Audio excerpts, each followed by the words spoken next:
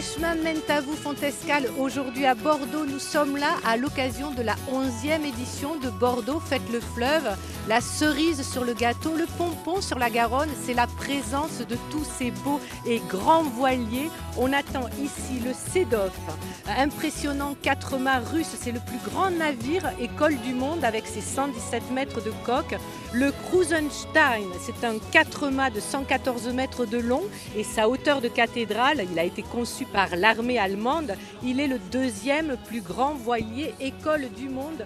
Plein d'autres voiliers, euh, l'Arawak, le septième continent, le Rara Avis, c'est la fête du fleuve.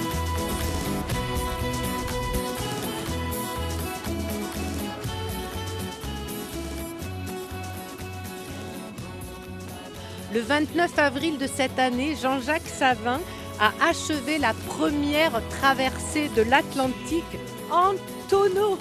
Pas de voile, pas de moteur, mais une navigation à la seule force des courants et des vents. Cela semble farfelu sûrement, mais c'est une extraordinaire aventure sur l'océan. Il faut savoir que euh, j'avais un, un bateau avant d'avoir une voiture. Donc euh, l'océan, euh, je pense que je commence à, la- à le maîtriser comme il faut. Euh, ben, c'est un tonneau qui fait 3 mètres de long sur 2 mètres 10 de, de diamètre.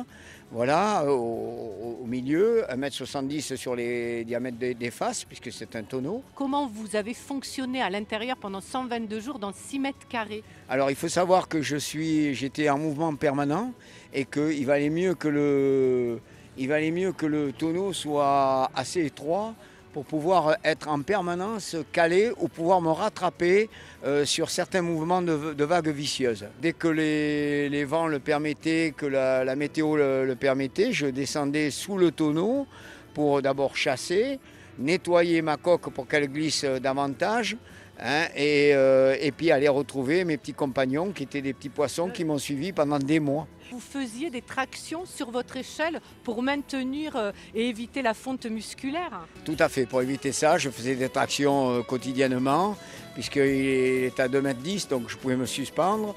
Et d'autre part, je, je- quand je sortais, je sortais avec des palmes, d'abord pour ma sécurité, hein, euh, et, puis, euh, euh, et puis pour faire travailler mes, muscles, les muscles des jambes.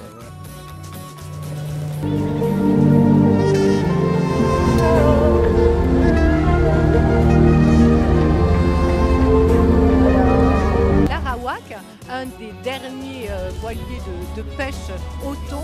Ce bateau a été construit pour pêcher à la pêche au chalut latéral et au- à la pêche au thon pendant l'été. Euh, il pêchait en Bretagne et donc euh, depuis les années 86, il a été restauré, transformé à la plaisance euh, où il, euh, maintenant il est à Bordeaux et il navigue avec euh, des personnes en insertion. Des, on participe aussi au rassemblement de vieux gréements, aux fêtes nautiques comme aujourd'hui, aux fêtes du patrimoine pour faire connaître la navigation à l'ancienne et ces bateaux du patrimoine. C'est un voilier école depuis, euh, depuis les années 90.